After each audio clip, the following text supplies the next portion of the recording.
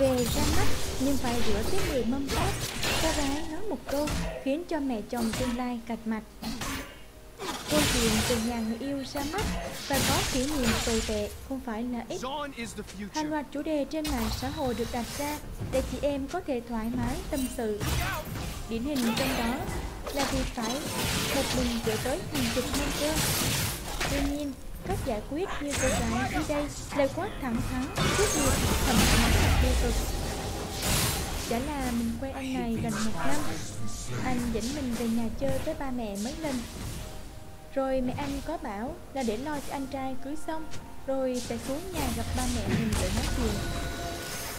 Nhà anh có bốn chị gái và một anh trai. Người yêu mình là con út. Chuyện không có gì cho đến khi mẹ anh mời. mình nhấn mạnh là mời nhé. Mẹ anh nói Ngày đó bác sẽ có à, con lên chơi nhé.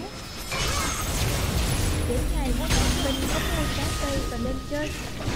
Vào nhà hỏi là có cần giúp gì hay không Thì mẹ anh bảo mình là cắt bánh mì. Đưa cho mình một con dao thái thịt Mình cắt nó với điều đẹp đẹp Vậy là mẹ anh kêu mình cắt sống Bảo ra sau cuốn chả giò Đang ngồi cuốn chả thì không biết còn chuyện nào của anh bảo. Năm nay, nói dẫn về người để rửa chén cho mẹ rồi nha.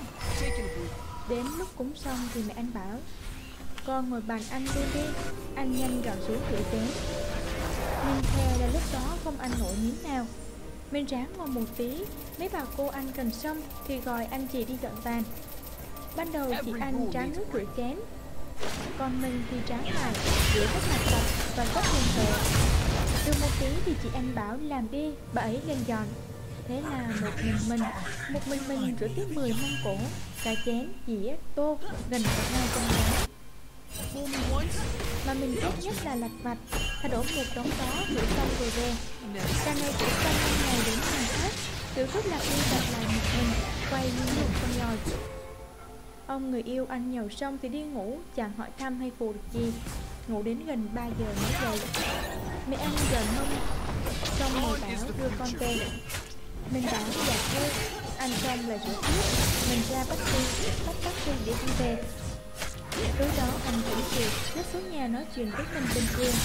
Mình cũng không nhắc tới Mà anh cũng không hỏi Là mình về bằng gì Đợt đó Với anh con mình yêu rất nhiều Trong đó Có một cái là anh không là tiếng này Để thư chuyện với ta mà Vì anh anh không thích Tao không thích lối hay tư vấn gì Nhưng thưa biết là mẹ anh đi sau được rồi Anh nói luôn từ giờ đó đi cho đỡ mất thời gian Sau đó mình là giờ nghĩ gì Làm sao là chia tay? Mà anh điện thoại không nghe. Nhắn tin cũng trả lời Đến ngày không gặp Mình ở nhà khóc mấy ngày. Vì vừa thương anh vừa tức. Mình quen vài người cũng đến nhà người ta chơi Nhưng chưa bao giờ gặp các nhà như này.